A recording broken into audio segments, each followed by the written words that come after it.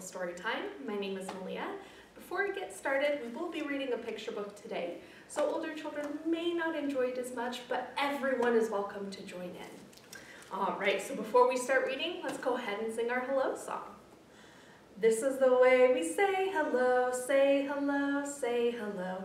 This is the way we say hello so early in the morning. Great job, everyone. So the book that we will be reading today is called Frankenstein, a Monstrous Parody by Ludworst, the monster.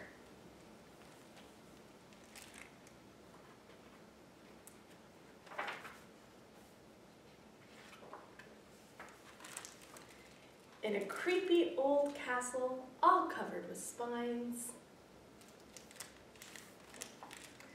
lived 12 ugly monsters in two crooked lines. In two crooked lines, they bonked their heads. Oh my goodness, do you see they're bonking their heads? Pulled out their teeth and wet their beds. Oh my goodness. That's a lot. They bit the good and gobbled the bad. Look, they stopped a robber. That's pretty good. They even tried to devour your dad. Oh dear. They left the castle each night at nine in crooked lines. Where do you think they're gonna go? Should we find out? We should, you're right.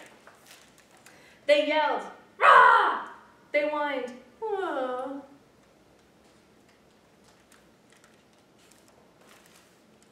The ugliest one was Frankenstein.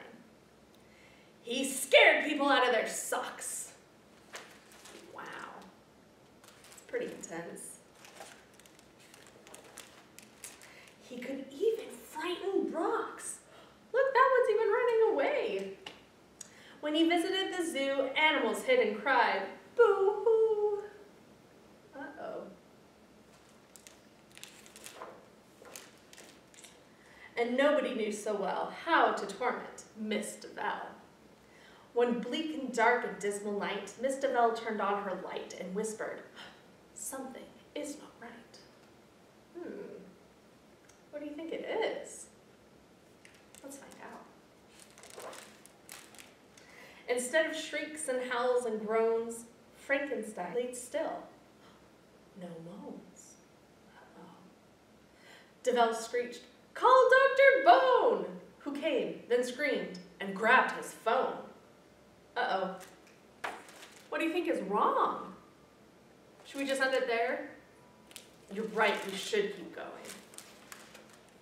And dialed Frankenstein 1-1. Nurse, he said, his noggin's gone. All the other monsters said, it wasn't me who ate his head. Frankenstein was carried off in Dr. Bone's creaky coffin. Uh-oh, look, his head's gone. In a hearse grotesque and gory, they drove him to the laboratory. When Frankenstein awoke, he said, What's this? I have a brand new head. He looks pretty happy, don't you think?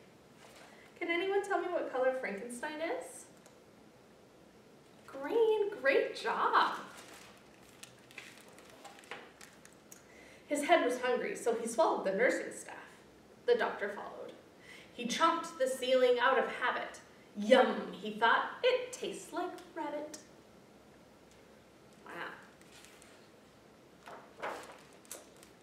He even ate a pizza guy, and so 10 days quickly passed by. One stormy eve, Miss DeVal said, isn't it fine? Look, they're little bats.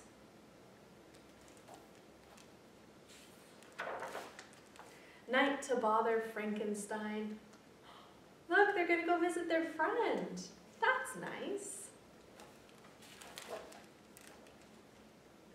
Visitors from two to four read a sign nailed to his door.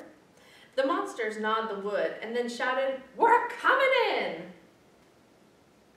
Look, they're so happy to see him.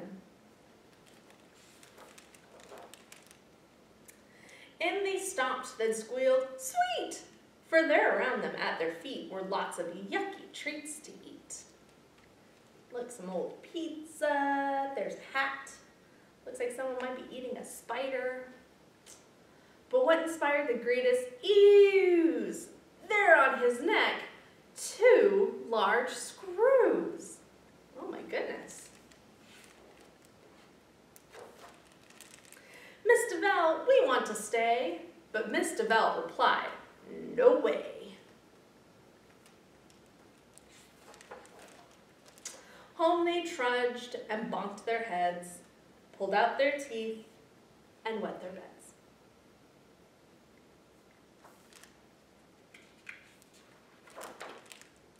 One bleak and dark and dismal night, Miss DeVal turned on her light and shouted, Something is not right! And hoping for no more disaster,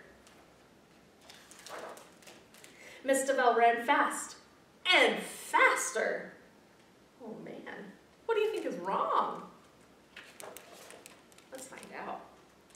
Oh, she pleaded, monsters, do tell me what is troubling you. All the ugly monsters said, nothing. Each had lost his head. Uh-oh.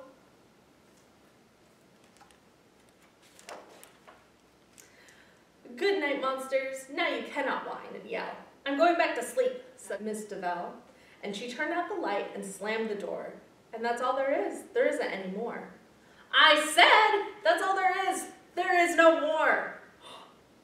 Should we turn the page? I think we should.